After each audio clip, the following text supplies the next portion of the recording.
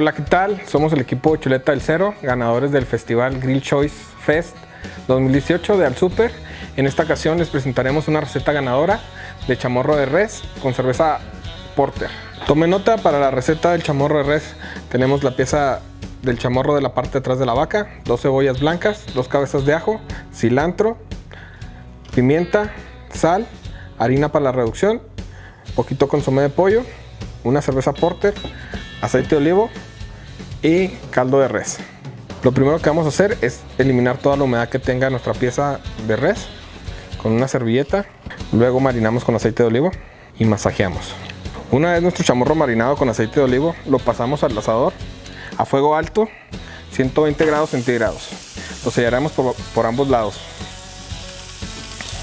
Una vez sellado nuestro chamorro por ambos lados, procedemos a quitarlo del fuego directo y continuamos con la receta caramelizando la cebolla en julianas, el ajo y el caldo de res. Para la salsa del chamorro usaremos dos cebollas cortadas en julianas, dos cabezas de ajo sin tapa y lo pasaremos a nuestro sartén que ya tenemos en la lumbre. Para caramelizar usaremos aceite de cocina. Agregamos la cebolla y nuestros ajos. Una vez caramelizada la cebolla, pasamos nuestro chamorro previamente sellado y lo bañaremos con nuestro caldo de res. Con medio litro de caldo de res será suficiente. Condimentamos con sal y pimienta.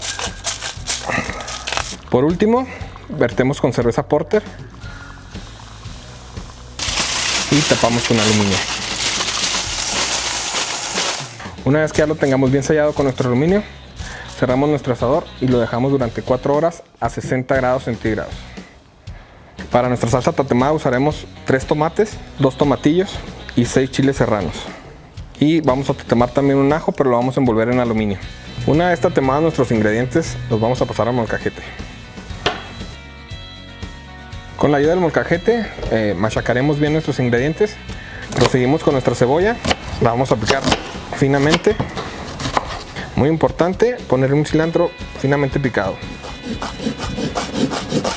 Ya para finalizar nuestra salsa, mezclaremos nuestros ingredientes en este recipiente y condimentaremos.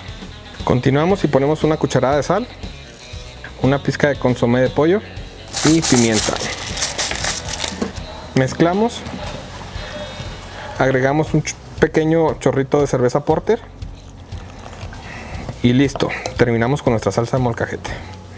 Después de 4 horas, abrimos nuestro chamorro. Ya está lista la cocción. Vamos a sacar el chamorro del skillet para reducir la salsa con poquita harina y poder degustarlo. Listo, señores, ya tenemos listo nuestro chamorro. Ahora sí a degustarlo con unas tortillas eh, azules de maíz. Quedó como barbacoa.